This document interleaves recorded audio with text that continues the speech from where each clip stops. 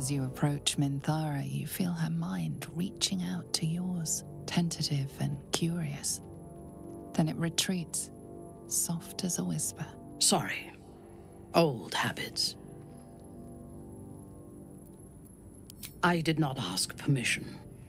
When we first met, I did not think we would ever share anything more than an uneasy alliance, born of our mutual enmity for the Absolute. I was wrong. A deeper bond has grown between us. I trust you. But I would like to touch your thoughts again, now that my mind is my own. May I? Curiosity. Until my time in the cult of the Absolute, I had spent little time on the surface, except to raid and pillage. I did not expect to find any outside the Underdark who saw the world as I do, and wanted from the world what I want. I did not expect you. I have been told that I am special since my mother first held me in her arms. The burden of expectation. Before the Absolute, I lived a life of certainties. I knew that I was destined for greatness because I was born to it.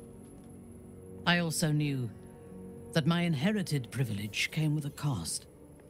That the bonds of fellowship and family could be broken by envy and ambition. I could not enjoy the taste of food for fear of poisoning, and I could not enjoy the company of lovers and friends because I feared they hid knives behind their smiles. In spite of the danger, I was happy. I knew myself, and I understood the world around me. Now,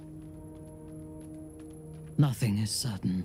Without Lolth, without the Absolute, without my home, I do not know myself. But you do, I think. Show me myself through your eyes. Let me see what I am to you. She joins her thoughts with yours, and you are as one. You share in her strength of mind and formidable will, but also the doubts that eat at her conviction. Those doubts cluster in swarms, and the thickest is around her sense of self. She pushes past, revealing the image of her you hold in your mind. What does she see? The cold shell of Minthara's mind melts away, and you are drawn into the heart of her. Warm, passionate, and dangerous. I have never lacked confidence, but this conflict seems so much bigger than the two of us. It frightens me. I do not know if we will survive it. But whatever life remains to us, I would gladly spend it fighting at your side and lying with you at night. Her mind touches yours, feather light and hesitant. A stark contrast to the confidence with which her thoughts intruded on yours in the past. Tonight, there will be no voices, no orders, no gods. I belong only to you.